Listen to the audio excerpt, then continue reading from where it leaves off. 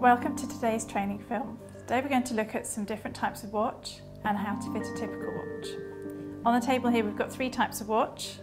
A metal strap with a metal clasp, a more traditional watch with a canvas strap and a traditional buckle, and a metal watch with a metal strap and a, and a clasp. So we're going to have a look at how to fit this one here.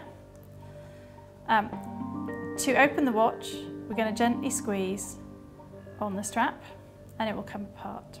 And you'll see that it's got a little uh, clasp here with a groove and you've got the end of the watch there. We're going to take it and put it around the wrist. Um, gently squeezing the metal again, we're going to hook that into the groove. Gently pull on the back to make sure it's secure and our watch is fixed. So that was our training film. We know now a little bit about typical types of watch, watch components and how to fit a typical watch. Thank you for joining us.